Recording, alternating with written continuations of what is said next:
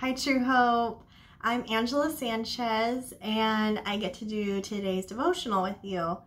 Um, if you haven't already um, checked out Rachel's devotional from yesterday, check that out. Uh, it was really good. Um, just starting off the week and addressing our topic for the week expectancy versus doomsday mentality as we're in this re-entry series. Um, she read through Hebrews 11. Uh, it was 1 through 16. And I'm going to do Hebrews 11, 17 through 31. And tomorrow, um, someone else is going to uh, take the section after that. So it's, it's just cool diving in deeper to these scriptures and having kind of different perspectives take each section and address it. I just really love it. Um, Hebrews is just a book full of just so much goodness, so much meat. And um, Hebrews 11 is really all about faith. Um, and so go ahead and read the scripture today if you haven't already. Like I said, 11, 17 through 31. And just going off where Rachel ended yesterday, um, she started to kind of mention some of the the saints in the word um, that lived by faith. And this section that I'm covering really goes into that. The author just starts addressing all these people of faith um, and what they did. And so I don't have time to read all of it, but let's look at a couple of them, starting in verse 17. By faith, Abraham, when he was tested, offered up Isaac.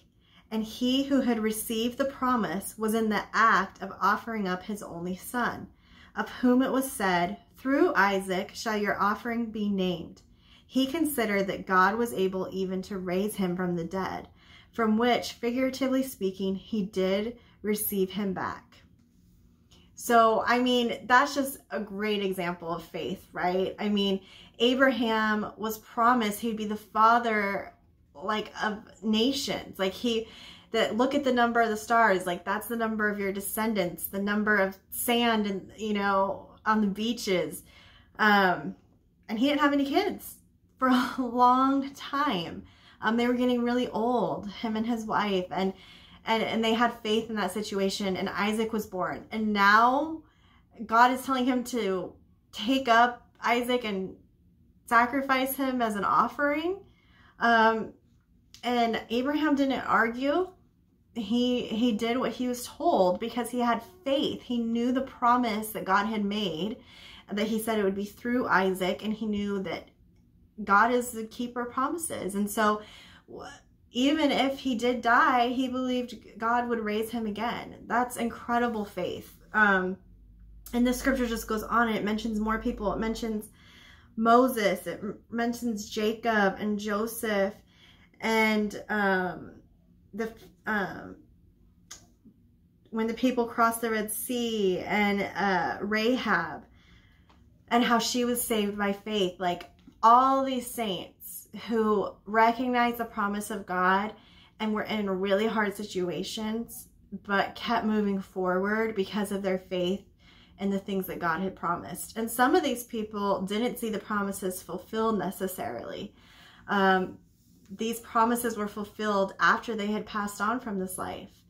Um, I love this verse 26. It's talking about Moses, that he claimed his heritage, that he didn't want to be called um, the, let's see, called the son of Pharaoh's daughter. He wanted to be known as one of God's people. And it says, even though it says, he chose rather to be mistreated with the people of God than to enjoy the fleeting pleasures of sin. He considered the reproach of Christ greater wealth than the treasures of Egypt, for he was looking to the reward. That basically sums it up right there. As Christians, we are not told that we will escape suffering in this life. Um, many of us know that. Like we've experienced that firsthand. Um, but we are promised that we have a reward waiting for us, that we have a hope and a future that's brighter than this. And that's what gets us through. Um, right now, things are tough. Look around our country. I mean, people are hurting. People are scared. People are being mistreated. People are being abused. People they're they're suffering. And it's hard. Even if your circumstances don't feel as big as someone else in your own way, you are experiencing hurt and hardship and struggling. And even just re entry after this quarantine has been difficult for me. Um, I was excited for it, and now that it's happening, it feels stressful because a lot of it is still unknown and it's different. Um, and for and various other reasons. It's just it's scary and it's okay to be scared. But we have to remember as Christians that we have a promise that God is bigger than all of this. There's reward waiting for us in heaven. And so to cling to our faith like these saints did. And that's the legacy we'll leave behind of faith, of people who believe in God and trust in God and live their life uh, following that belief. And so I just encourage you this week to really call out your faith, call out the promises God has made to you, and really just walk in in peace and trust of that.